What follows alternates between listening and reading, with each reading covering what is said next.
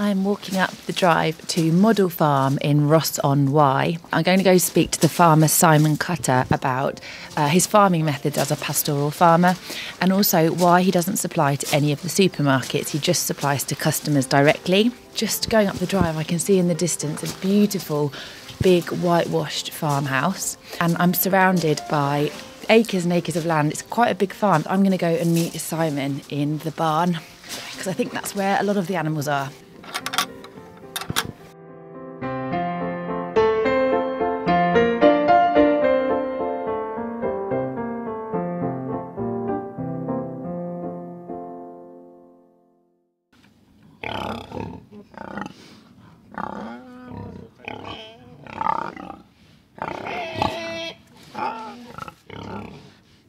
Breed of pig are they? They're Hampshire pigs.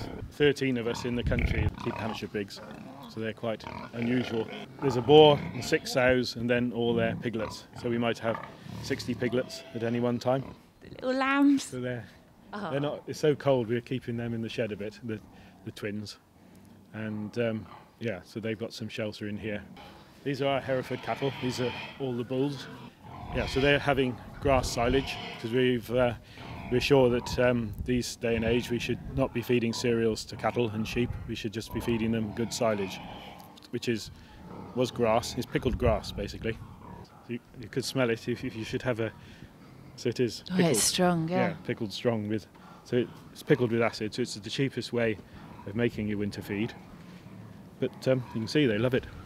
You know, we're trying to to avoid use of antibiotics and everything. We're trying to keep the animals as healthy as we can, because there is this issue of if the animals have too many antibiotics, then um, the antibiotics don't work so well on humans. Some farmers would give pigs antibiotics every day. We would. It would be once in a blue moon any pig got an antibiotic. You feed them differently to supermarket cattle. Yeah. What health benefits are there in the meat for humans? Well, it's because it's because of the long chain and omega threes are there from the pasture, and um, it's, the saturated fats are a lot less, so it's, it's a much more healthy meat. Basically, what, what nature's been doing for three thousand years turns out to be correct, doesn't it? Does it cost more to to farm like this? Cost less Cost less. because um, we're not buying in corn and buying in inputs. We're growing all our own inputs and keeping the farm in balance. Corn could be feeding starving people in Africa. Corn could be feeding humans everywhere. Why feed it to cattle? These cattle will do, you know, they do perfectly well eating grass, which is what they were meant to do. And by grazing pasture, we're sequestrating carbon, tons and tons and tons of carbon, and um, that's you know that's beneficial for the environment as well, isn't it? This is the first pastoral farm that I'd come across, so I asked Simon, how many are there across the country? In the um, Pasture Fed Livestock Association, there's about um, 40, 40 people at the moment, but a lot more are in, interested if the market started to take off. I think once consumers start demanding the health benefits, um, there'll be a lot more because it's a lot better way of um, of doing things. Out of the 40 members, not a single one supplies to the supermarket, so I asked why this was. Supermarkets wouldn't want these animals because they say they're too small, and so the cost of production and processing is, is higher. But the flavour and the way they're grown, it's uh, much better. The, the, the ethos of the group is that we'll supply straight to consumers.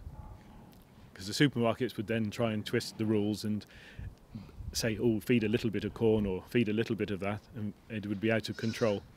I was interested to know if the horse meat scandal had increased the demand for his produce. it's made uh, old customers that perhaps slip back to the supermarket come back to us. So in that respect, it has focused people's minds on it. But but our demand has always been pretty steady, and we're selling pretty well everything we produce. So um, you know we couldn't we can't suddenly expand. It would take five years to produce one more beef cattle.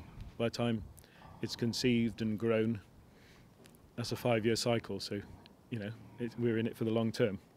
The weather was just so cold that we had to go inside for a cup of tea to warm up and a bit more of a chat.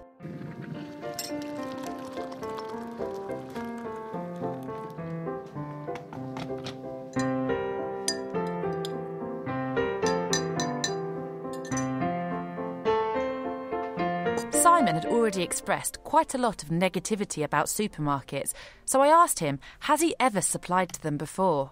We've grown potatoes here for Tesco's before and had to use copper sulfate, and then we find after, in the year after, the copper is toxic to, to sheep. So the, the stuff we're using to kill blight on potatoes, to keep potatoes nice, kills the sheep grazing the grass after. And I don't think enough is known. It's been quite an eye opener for the guy running our little gardening club how many chemicals are allowed in an organic system. And um, it's, uh, I think most consumers assume that there are no chemicals involved in it. You know, it, it's so so tight and you know so expensive to grow for the supermarkets. You know, but I'm not sure it's what the consumer wants. I'm sure the supermarkets haven't asked you how many chemicals you want on your potatoes, have they? It was true, of course. I've never been asked what I want on my fruit and veg. So, what's the future for pastoral farming in Britain? Yeah, I think it'll be um, a major.